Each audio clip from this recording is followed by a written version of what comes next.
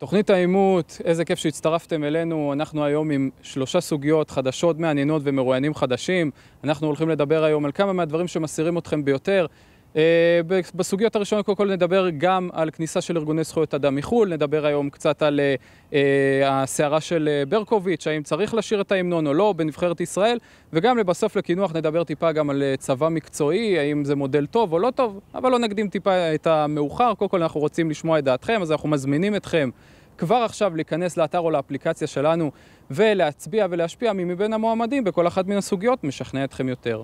אז כאמור, הסוגיה הראשונה שלנו להיום תהיה סוגיה אה, האם להכניס ארגוני זכויות אדם מחו"ל לישראל. יש כאלו שחושבים שמדובר באמת על אה, יוזמה ברוכה ועל אה, איזשהו משהו שגורם לזה שמדינת ישראל באמת תצטייר כמדינה נאורה. אה, ומצד שני, יש כאלו שחושבים שאותם ארגוני זכויות אדם באים ובסופו של דבר גורמים לצה"ל להיראות רע ומפריעים לפעילות החיילים בשטחים.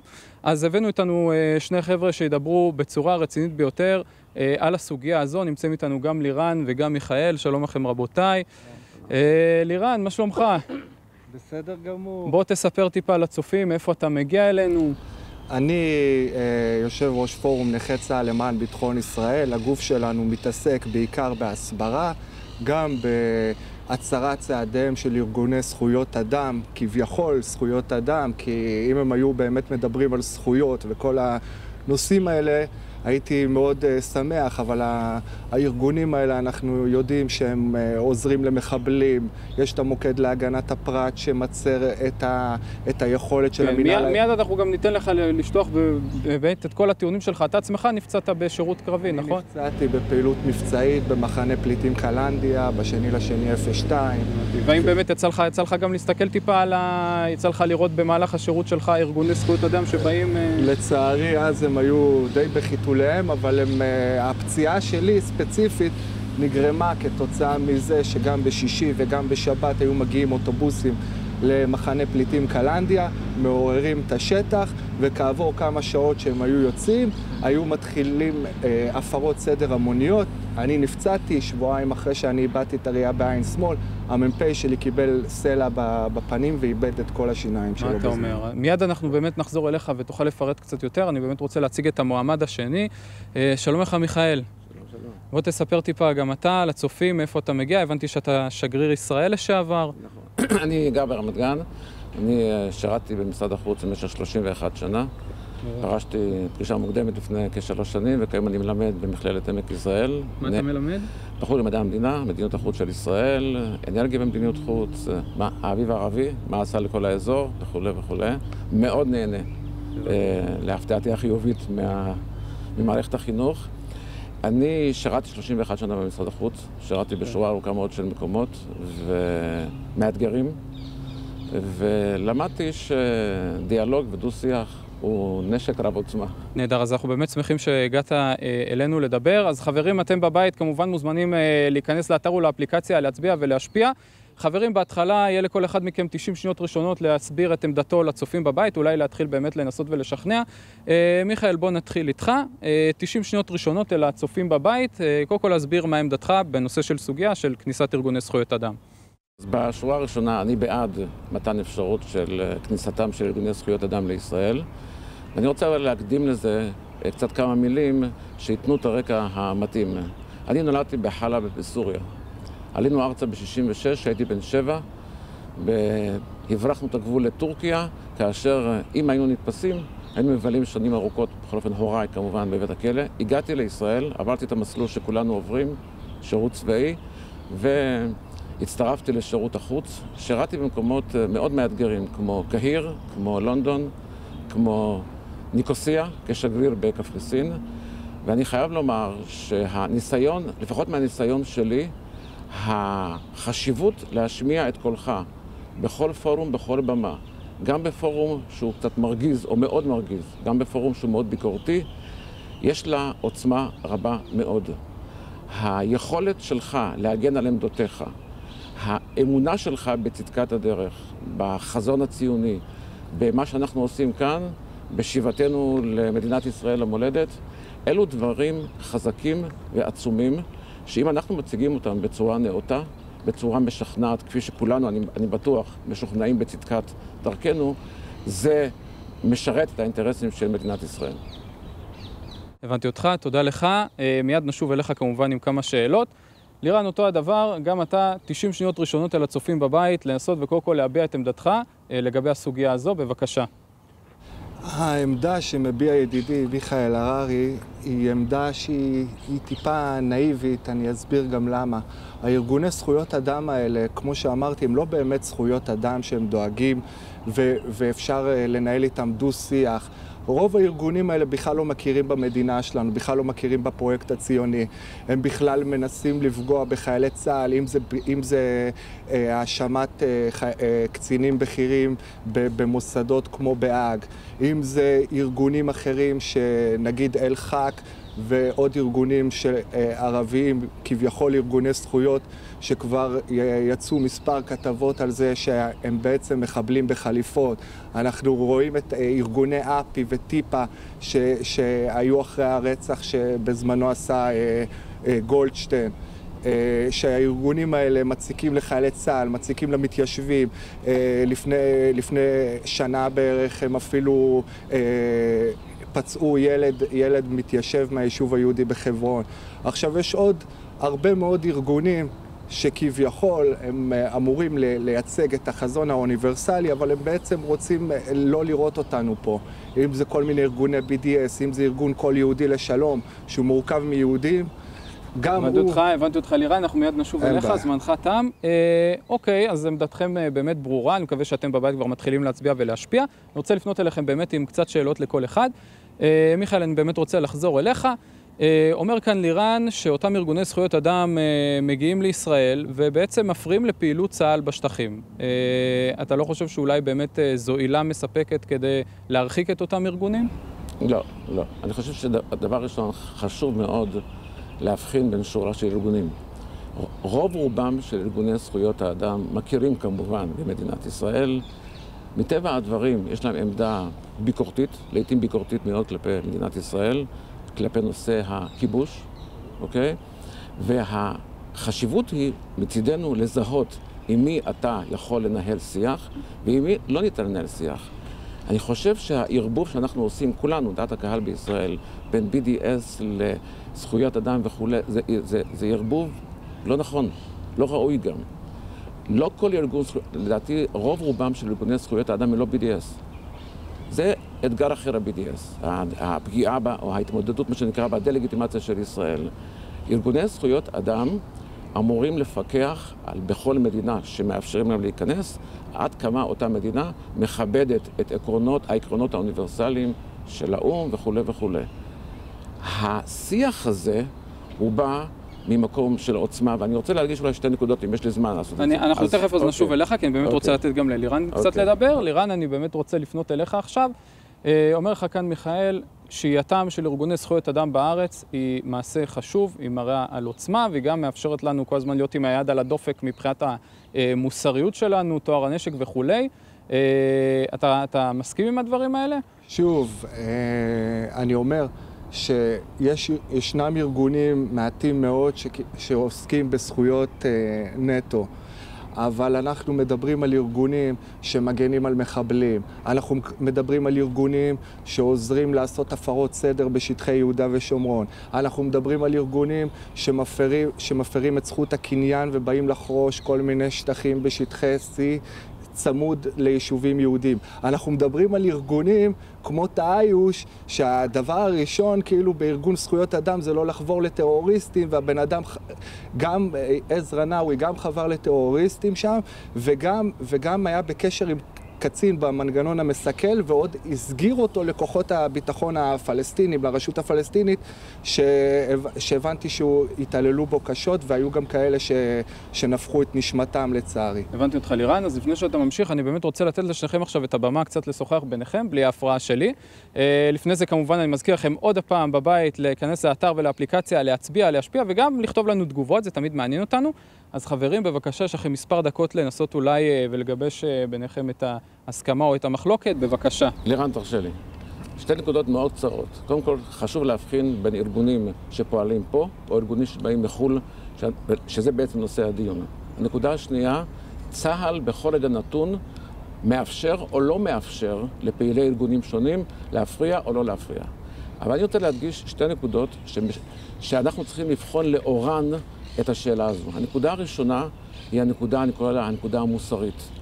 אני חושב שמדינת ישראל, העם, העם היהודי, שחרט על דגלו לאורך כל שנות ההיסטוריה את האור לגויים, יש חוזק אדיר ביכולת שלנו להישאר פתוחים, לנהל שיח מאוד קשה, לעיתים מאוד מרגיז, עם מי שניתן לנהל שיח.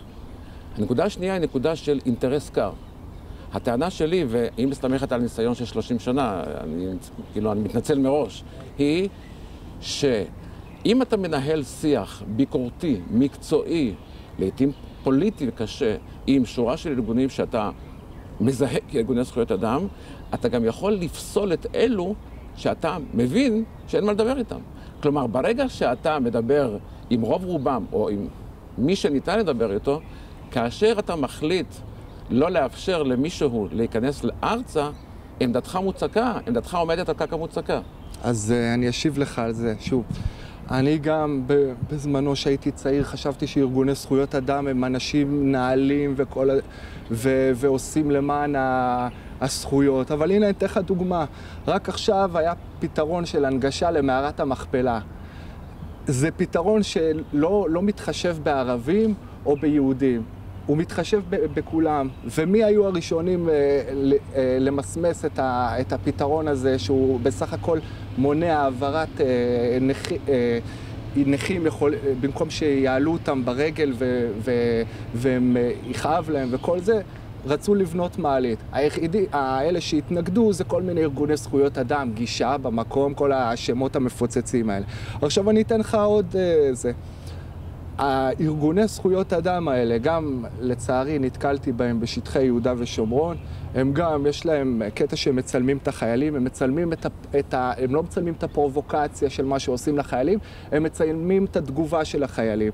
הם, ה-human rights האלה, וואש. הם באים להציק לחיילי צה"ל בשטחי יהודה ושומרון. מגיעים תיירי טרור, אנחנו נפגשנו בזמנו, גם הארגון שלי וגם ארגון עד כאן נפגש בזמנו עם, עם מקבלי החלטות וגם עם פקידים בכירים, והראינו להם שאנשים באים לשלושה חודשים לזרוק אבנים על חיילי צה"ל, יש להם דירות מסתובבות. מסתור ברמאללה, חברון וג'נין, ו- והם בקשר, איך ארגון זכויות אדם שמתיימר להגן על זכויות, בקשר עם כל מיני מנגנונים אפלים ש- שה- שהזכויות זה המילה האחרונה שהם מטיפים אליו. אבל לירן, תרשה לי, לירן, תרשה לי. אני חושב אוקיי. שאנחנו, מה שנקרא, בקל, בקלות רבה מדי, מערבבים בין מי שבא כדי להיות מעורב בצורה כזאת או אחרת בפעילות לא חוקית או פעילות טרור, לבין מי שבא עם מנדט לבדוק את כיבוד זכויות האדם והגישה שלו, אני אגלה לך סוד, אני חלוק איתם על 98% מהנושאים, אבל, אבל, לדעתי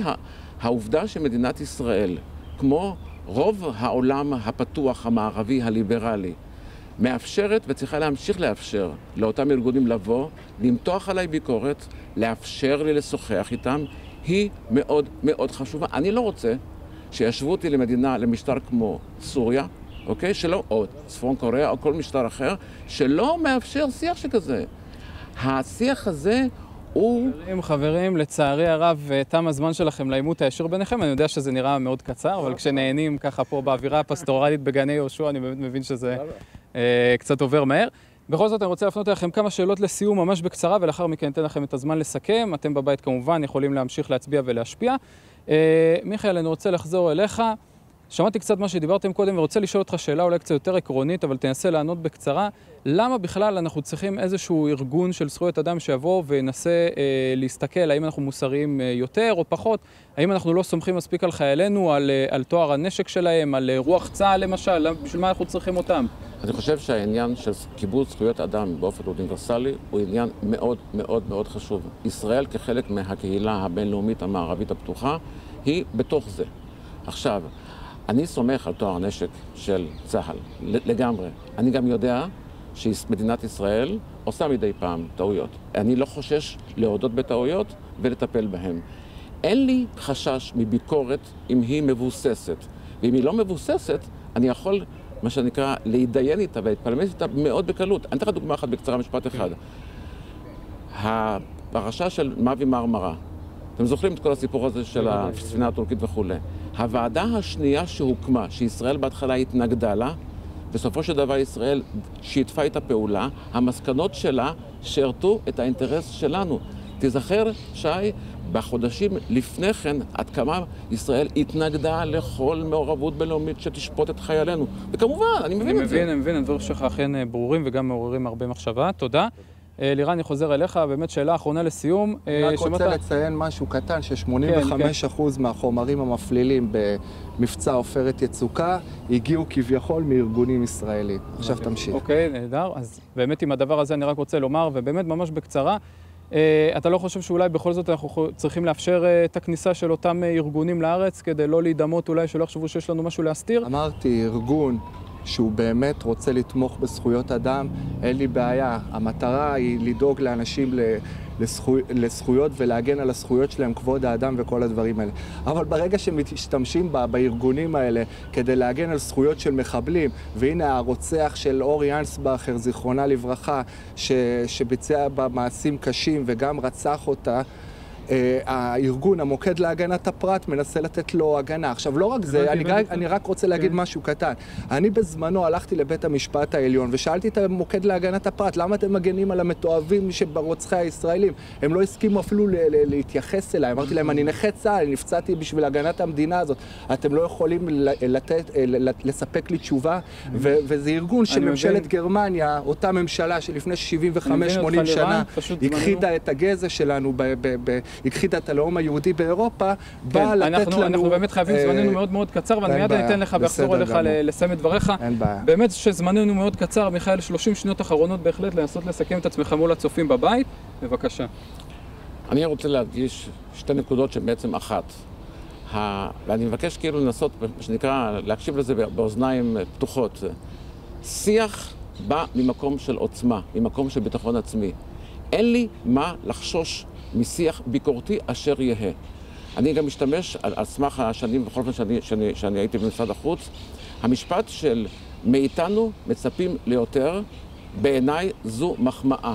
זו מחמאה. אני רוצה שיצפו מאיתנו ליותר. תודה רבה, מיכאל. אה, זמנך תם. לירן, אותו הדבר, 30 שניות אחרונות, אתה יכול גם בעיה. להתייחס למה שאמרת קודם. בבקשה, אל הצופים. בזמנו שהצלחנו להוציא את שוברים שתיקה לפני שנתיים, זה היה כתוצאה מזה שהלכתי להרצות ולספר את סיפור הפציעה שלי, ותלמידים שאלו אותי אם אני רוצח. המטרה היא, ל, ל, אין לי בעיה עם ביקורת, ביקורת זה דבר טוב, ביקורתיות זה דבר מצוין, זה גם הפקת לקחים, אבל לא שקרים. וברגע שמפילים עלינו שקרים, גם על החיילים שלנו וגם על מדינת ישראל, זה סוף המשחק מבחינתי. תודה רבה. תודה רבה לך, לירן. תודה לשניכם. הדברים שלכם באמת, אני חושב, מאוד מאוד חשובים, וחשוב שגם הצופים בבית ידעו עליהם. זהו, אנחנו סיימנו את העימות הראשון שלנו להיום, אבל אל תדאגו, אנחנו יוצאים להפסקה קצרה, ומיד אחריה אה, שני הנושאים האחרונים שנותרו לנו, גם אה, שירת ההמנון אה, בנבחרת ישראל וגם צבא מקצועי. לא נקדים את זמננו, אנחנו נפרדים מכם בינתיים מגני יהושע בתל אביב. חזרתם אלינו כאן לתוכנית העימות בגני יהושע בתל אביב, איזה כיף שאתם איתנו. ועכשיו עם הסוגיה השנייה שלנו להיום, אנחנו הולכים לדבר על איזושהי התבטאות של אייל ברקוביץ', שהסירה הרבה מאוד אנשים ברשתות החברתיות ובכלל, אה, לגבי סוגיית שירת ההמנון בנבחרת ישראל. האם חייב לחייב, האם צריך לחייב בעצם, את קפטן נבחרת ישראל ואת נבחרת ישראל בכלל לשיר את שירת ההמנון, והאם גם צריכים להיות יהודים, לא יהודים, זו סוגיה באמת מאוד מאוד מורכבת במדינה כמו שלנו. הבאנו איתנו גם את יוסף וגם את אורן, שידברו טיפה על הנושא הזה מנקודת מבטם האישית. אתם בבית כמובן מוזמנים להיכנס לאתר ולאפליקציה, כרגיל, להיכנס, להצביע, להשפיע וגם לכתוב לנו בתגובות מה דעתכם. אבל בואו נכיר קודם כל את המתמודדים והמרואיינים שלנו להיום. יוסף, מה שלומך? שלום, שלום, מה שלומך? בסדר גמור. בוא תספר טיפה לצופים מי אתה, מאיפה אתה מגיע, במה אתה עוסק. יוסף חדד, מנצרת, בן 35, מנכ"ל עמותת ביחד ערבים זה לזה, עמותה ערבית-ישראלית שמטרתה לחבר את המגזר הערבי-ישראלי ולהיות חלק מהחברה הישראלית, למעשה להיות בעלי השפעה בכל מה שקשור אה, במדינת ישראל. בין היתר אנחנו גם עושים הסברה ישראלית ואנחנו יוצאים לעולם ומדברים על מדינת ישראל. נהדר, כמה זמן אתם כבר קיימים? אנחנו, זה כבר השנה השלישית שלנו למעשה, ובתוך אה, שנתיים, שלוש, כבר הצלחנו לעשות כמה וכמה מיזמים מאוד מדהימים, אה, גם בפנים הארץ וגם בחוץ. נהדר, אז תכף אנחנו נשמע מה דעתך. אני בטוח שיש לך בטן מלאה לגבי מה שאייל ברקוביץ' אמר ובאופן כללי. אה, אורן, מה שלומך? מצוין. בוא תספר גם אתה טיפה לצופים, מאיפה אתה מגיע? אה, אז אני מגיע מחולון, בן 28. אני משמש ככתב בעיתון השקמה מבית אה, רשת שוקן, וגם עורך אה, פודקאסט שבועי בנושא אקטואליה ברדיו החברתי הראשון. הבנתי אותך, אנחנו שמחים כמובן שהגעת גם. אז חברים, אמרנו, הסוגיה השנייה שלנו להיום היא שירת ההמנון בנבחרת ישראל. לכל אחד מכם יהיו בהתחלה 90 שניות להציג את עמדתו אל הצופים בבית. יוסף, אנחנו נתחיל איתך. 90 שניות ראשונות להציג את עמדתך אל הצופים, בבקשה. אנחנו כל צריכים להבין שמדינת ישראל היא מדינה יהודית ודמוקרטית. על זה אין ספק בכלל. אבל לבוא ולחייב שחקן ערבי, או שחקן בעצם שהוא לא יהודי, לשיר כל עוד בלב אף פה נימה נפש יהודי, זה פשוט לא הגיוני. הרי בסופו של דבר, המילה נפש יהודי לא קשורה, לא אליי, בטח ובטח לא לשחקנים אה, צ'רקסים, אה, ערבים, אה, נוצרים או מוסלמים. אני אישית מצאתי פתרון לעצמי, אבל אני לא מחייב אותו והוא לא אמור להיות לכולם. זה פתרון שלי.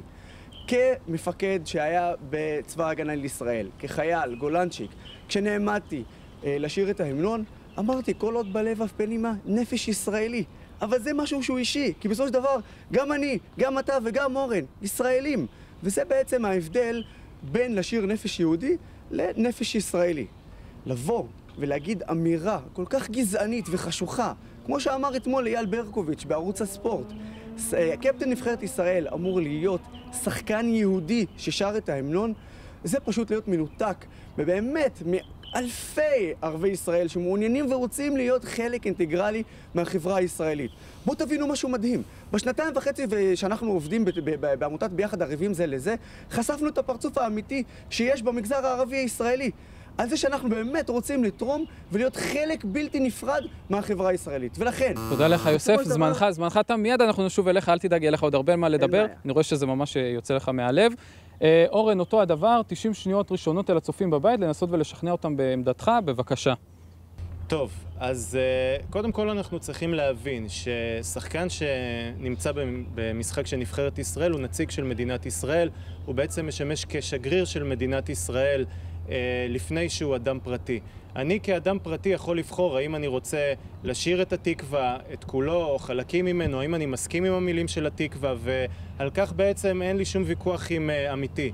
העניין הוא שברגע שאנחנו באים ומייצגים את מדינת ישראל תחת uh, סמליה ודגלה במשחק כדורגל, אנחנו לא יכולים להחליט שאנחנו מתחמקים מלשיר את ההמנון הלאומי, דבר שמאוד מקובל במשחקי כדורגל בין מדינות. Uh, קל וחומר כשמדובר בקפטן הנבחרת, בין אם הוא יהודי או בין אם הוא ערבי. Uh, הוויכוח סביב הטקסט של ההמנון, האם הוא מייצג או לא מייצג חלקים מסוימים uh, מאזרחי המדינה, uh, זה דיון שהוא ראוי, אבל ראוי לעשות אותו בכנסת, במקומות אחרים, לא על המגרש. תודה רבה לך, אורן. אנחנו מיד גם נשוב אליך. אתם בבית, כמובן, אני מקווה שכבר נכנסתם לאתר ולאפליקציה ואתם ממשיכים להצביע ולהשפיע. אה, גם תכתבו לנו תגובות, זה תמיד חשוב לנו. יוסף, אני רוצה לחזור אליך. אה, איך אתה מרגיש באמת, אה, קצת הצלחתי לשמוע את זה דרך הנימה שלך וגם לא סיימת את דבריך, איך אתה מרגיש שאתה שומע את אייל ברקוביץ' אומר את מה שהוא אומר? תשמע, אני רוצה להגיד לך שאתמול האזנתי לתוכנית הספורט וברדיו, ברדיו ספורט 5, ואתה יודע, אני תמיד אומר שאני גאה להיות ערבי וגאה להיות ישראלי. אני גאה גם במדינה שלי, ואני יודע שרוב הציבור הישראלי אפילו לא קרוב להיות גזעני. אנחנו הרוב השפוי, עם הקול השפוי.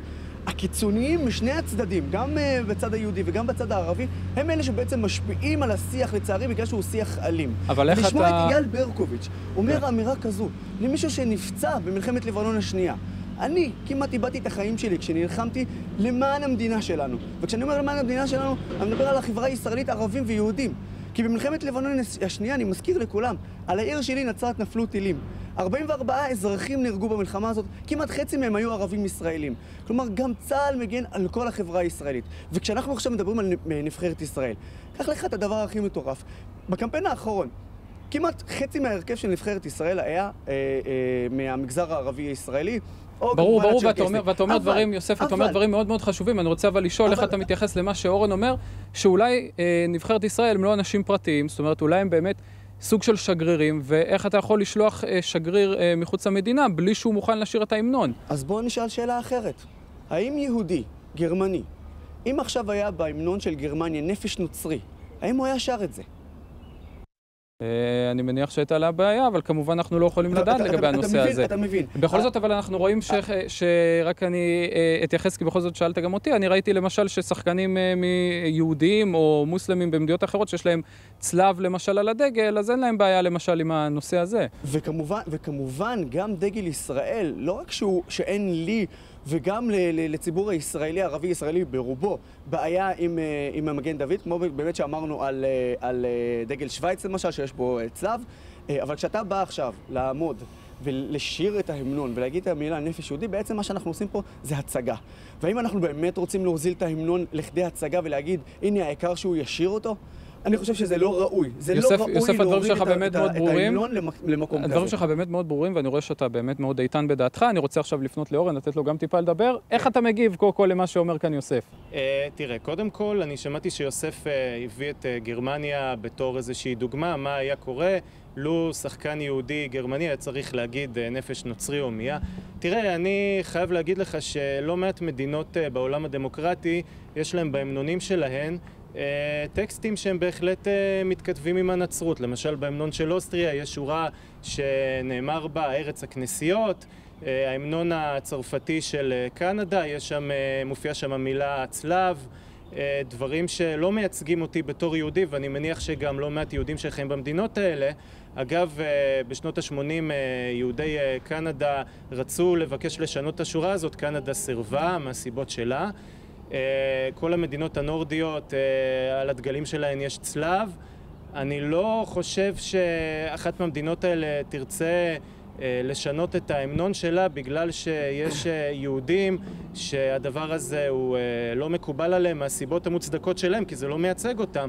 אני חושב שגם שחקן יהודי שמשתתף במשחק של נבחרת איסלנד או נבחרת טורקיה, אם יכול להיות דבר כזה, אז uh, הוא לא יכול להחליט שהוא לא ישיר את ההמנון של אותה מדינה שאותה הוא מייצג. תודה אורן, והסוגיה הזו היא באמת סוגיה מורכבת, אז אני רוצה לתת לכם קצת לדבר לבד על הנושא, לדבר ביניכם. Uh, אתם בבית כמובן תגיבו לנו, אנחנו רוצים לדעת מה אתם חושבים. צריך לחייב לשיר את ההמנון או לא צריך?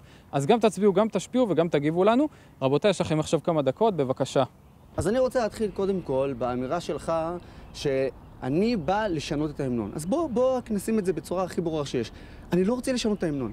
שההמנון יישאר איכשהו. אני אפילו לא רוצה להגיש, להגיש, להגיש הצעת חוק לשנות את ההמנון. שההמנון יישאר נפש יהודי. אני רק אומר שבלתי אפשרי להכריח ערבי ישראלי או מישהו שהוא לא יהודי לשיר את ההמנון. אמרתי לך, אני מצאתי לעצמי פתרון. באתי ואמרתי, אני עם עצמי, בלי הצעת חוק, אתה יודע מה, אני אספר לך יותר מזה. Mm-hmm. הייתי בקנדה. באירוע רשמי של ארגון נכי צה"ל. בדיוק לפני שעלינו לטקס, בא אלינו המנחה טקס ואמר, תקשיבו, אתם עולים עכשיו לשיר את ההמנון של מדינת ישראל. אחרי זה שרים את ההמנון של אה, קנדה, והם שם ממשיכים את, את, את הטקס. חבריי לארגון נכי צה"ל שלא הכרתי לפני כן, הכרנו תוך כדי. אחד מהם, אגב, עורך דין מירושלים, אוהד בית"ר מושבע. אמר לי, תגיד לי, יוסף, אתה הולך לשיר את ההמנון? אמרתי לו, בוודאי שאני הולך לשיר את ההמנון, אבל אני משנה מילה אחת לעצמי בלבד, אני לא מכריח אף אחד. ובמקום נפש יהודי אני אומר נפש ישראלי. עלינו לבמה, תקשיב טוב, התחלנו לשיר, קולות בלב ואף פן אימה. אה, כשהגענו לנפש יהודי, אני שרתי את נפש ישראלי. הם באופן טבעי פשוט שרו איתי נפש ישראלי. כשירדנו, אמרנו, תגיד, אתם שיניתם את זה? הוא אומר, פשוט הזדהינו אותך. זה לא, לא מהמקום שביקשתי, לא מהמקום שרציתי, ולכן אני גם אומר לך אותו דבר. לא בא לשנות את ההמנון. אני לא רוצה, שיישאר איכשהו.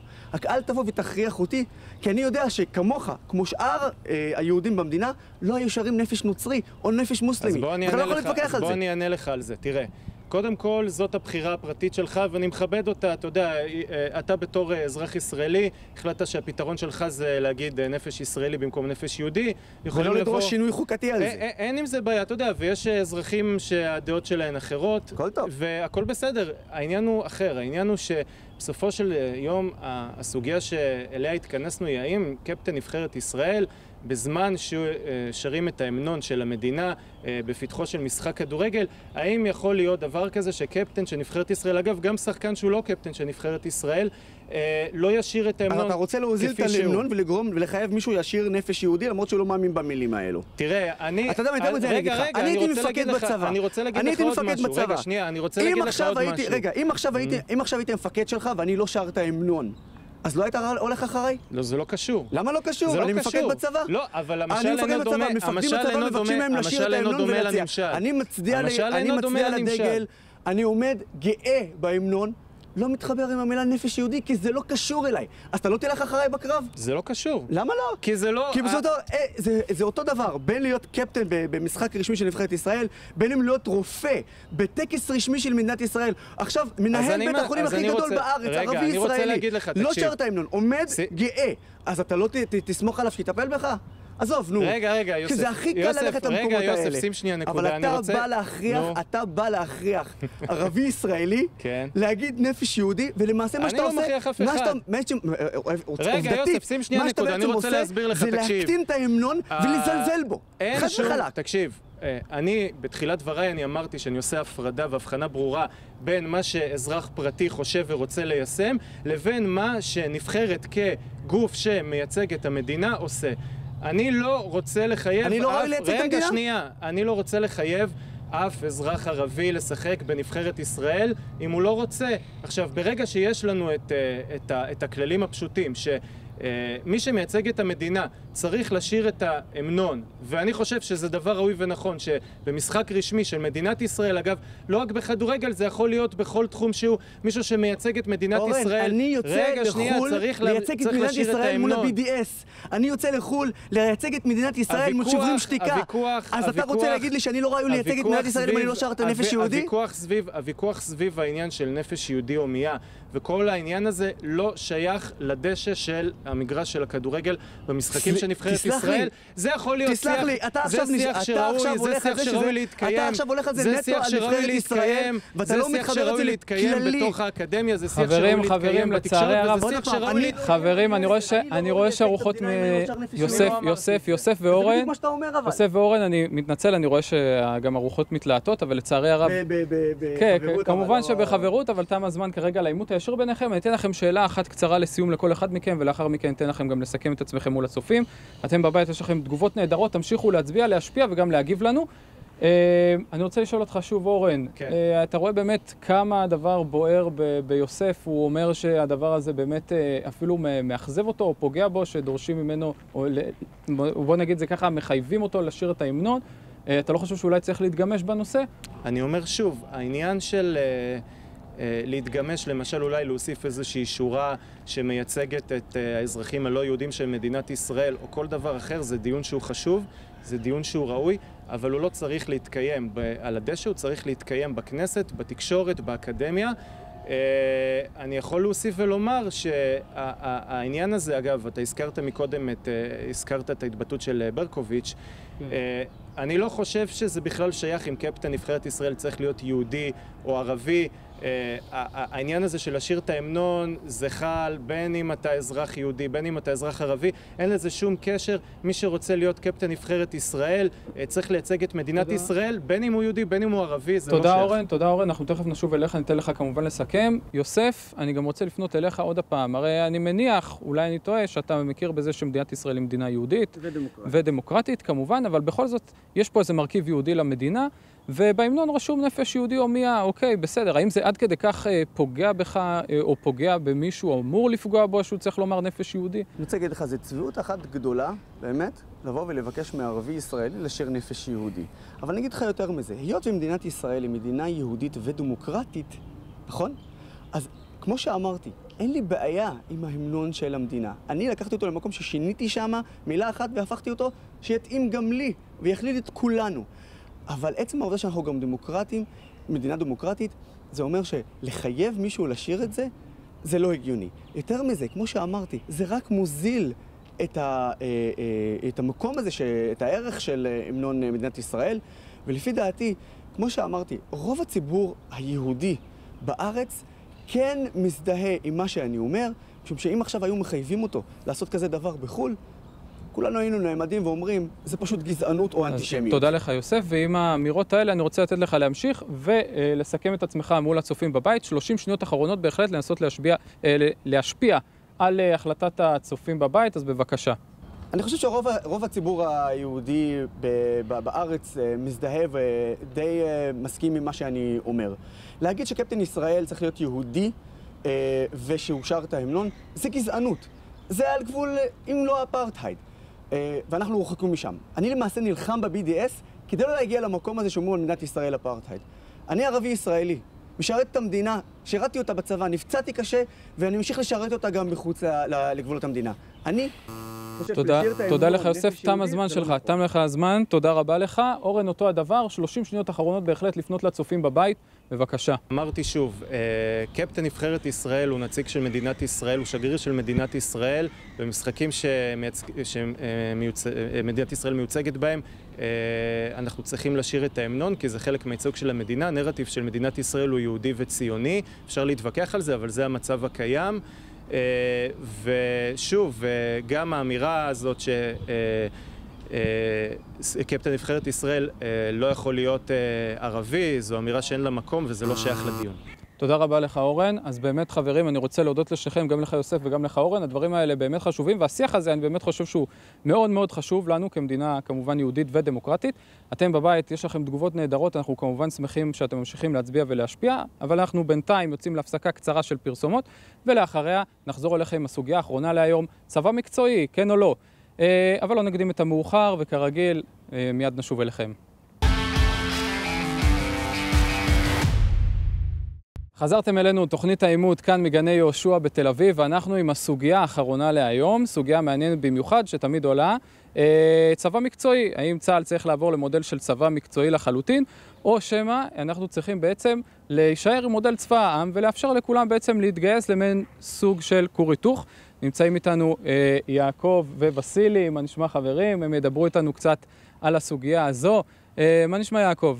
מצוין, תודה רבה שי. בוא תספר אה, טיפה מאיפה אתה מגיע, במה אתה עוסק. אה, שמי עורך דין יעקב כהן, אני עורך דין ומגשר במשפט האזרחי.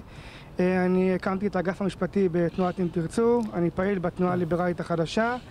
בין השאר אני עוסק במשפט מנהלי, משפט חוקתי, לשון הרע ועוד בחור רציני, מתעסק בהרבה מאוד דברים. גם, גם וגם. איש אשכולות. עושה גם ביזמות קצת, כל מיני דברים. נהדר, אז יופי, אנחנו שמחים שבאת אלינו. תודה רבה, שמח להיות. וסילי, מה שלומך? מצוין. בוא תספר גם אתה טיפה לצופים, איפה אתה מגיע אלינו, מה אתה עושה. קוראים לי וסילי צוקנוב מתל אביב, אני מפתח תוכנה עצמאי. אה, זהו, זה פחות או יותר מי שאני. נראה לך שאתה תצליח להתמודד פה עם יעקב? נראה לך שאתה תצליח לשכנע? אני אתן את הפייט הכי טוב שאני יכול. יאללה, נהדר. הוא יכול, הוא יכול, נראה לי בחור רציני. אז אני שמח, אני מקווה באמת שיהיה פה עימות מעניין. אתם בבית כמובן מוזמנים להיכנס לאתר ולאפליקציה, להצביע, להשפיע, וכמובן גם לכתוב לנו קצת בתגובות מה דעתכם, זה תמיד מעניין אותנו.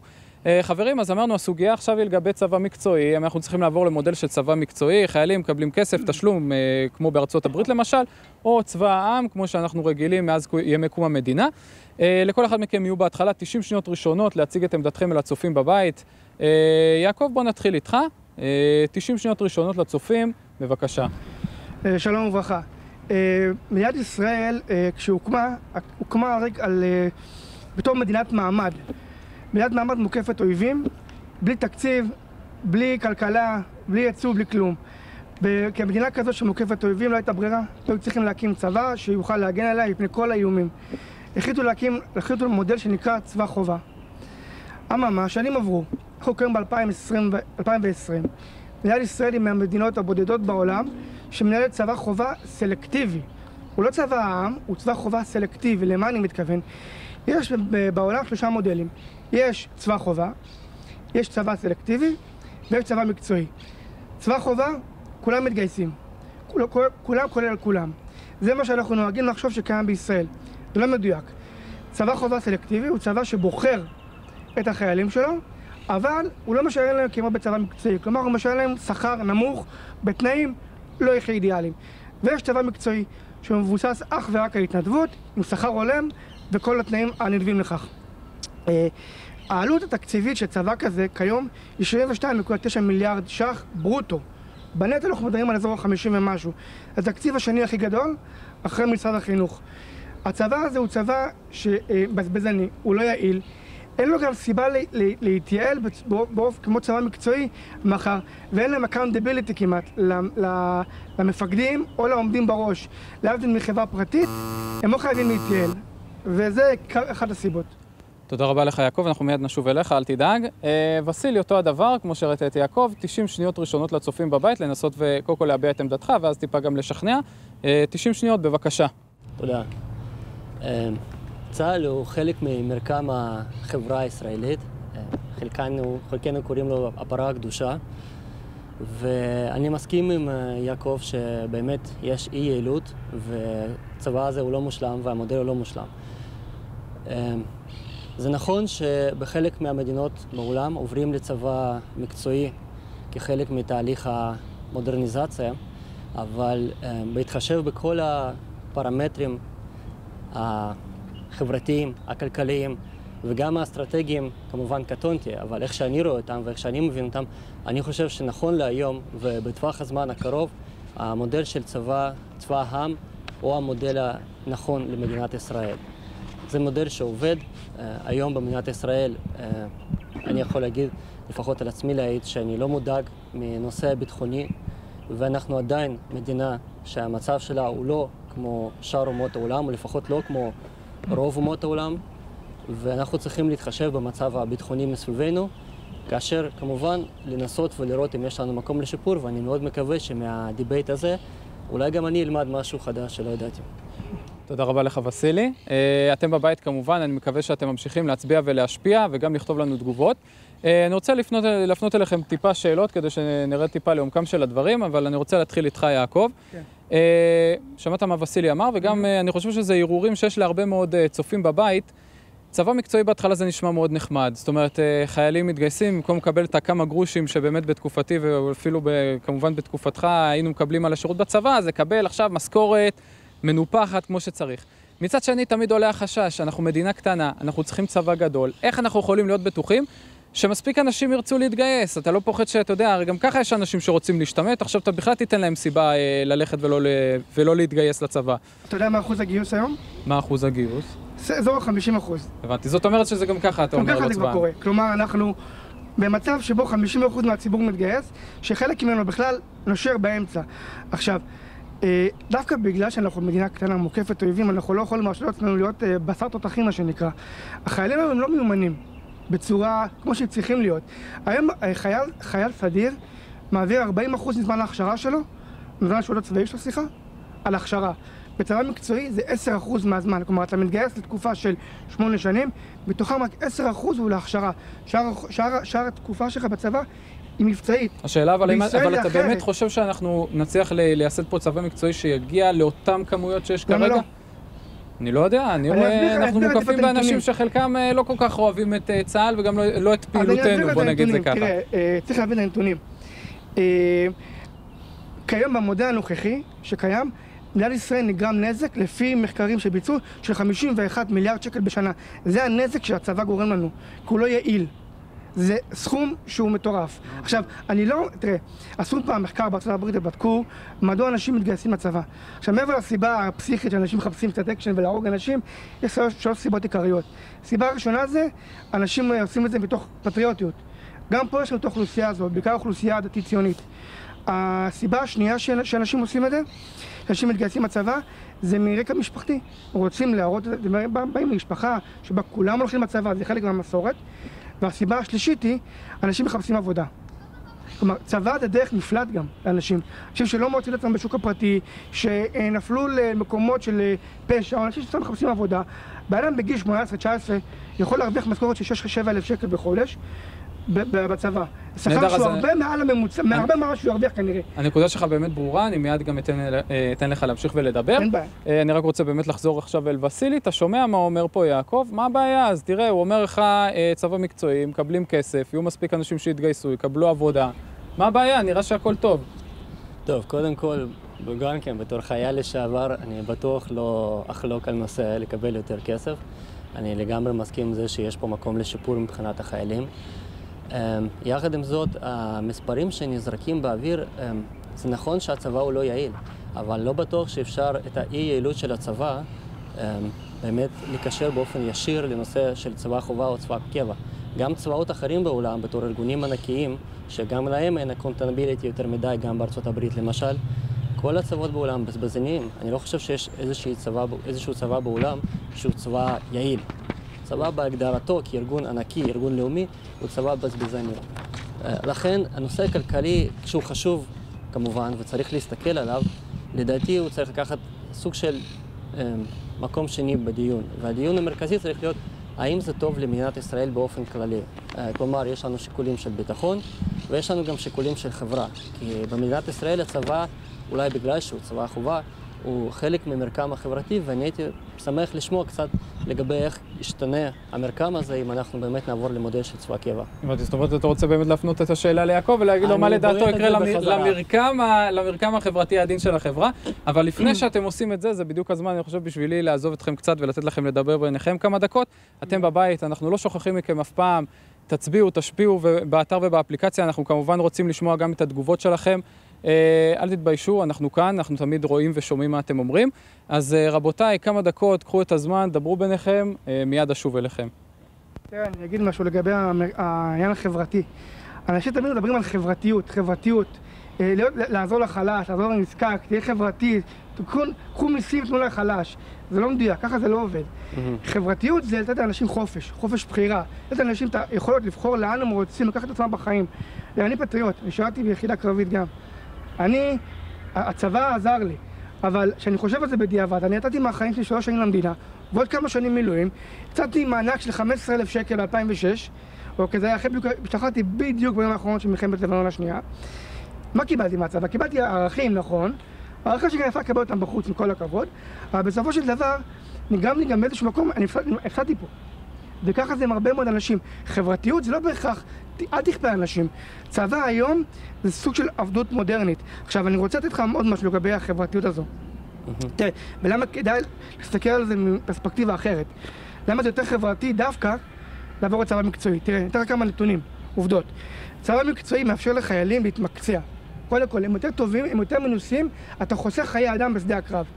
דבר שני, הוא משחרר המון אנשים לשוק העבודה. יותר מיסים, יותר כסף למשק, יותר, יותר פיתוח כלכלי של המדינה. זה חברתי. שאתה, שאתה מייצר יותר, יותר אה, אה, אה, אה, שאתה, שהמשק עובד יותר טוב, זה חברתיות. ככה יש לך יותר כסף, מה שנקרא, לחלק במרכאות. אני קורא לזה מדיניות רווחה.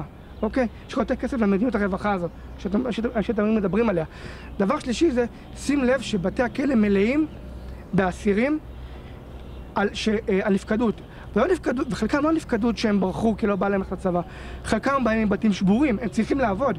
במקום ללכת ולעבוד, הם חייבים ללכת להתגייס לצבא, להרוויח 600, 700 שקל, 1,000 ומשהו שקל בחודש.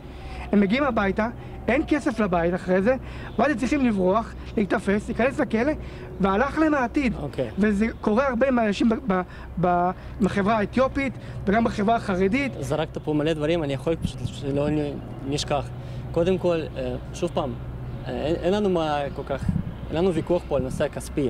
להשקיע שלוש שנים מחייך ואז במילואים, ואני עדיין עושה מילואים כמובן, ואז במילואים אה, זה לא משתלם. מבחינה כספית חד משמעית. דווקא מילואים השתלמו לי, מילואים השתלמו מבחינה כספית. אה, טוב, האמת היא, כן, בקורונה, בתקופת קורונה לא, אולי קצת כן. יותר.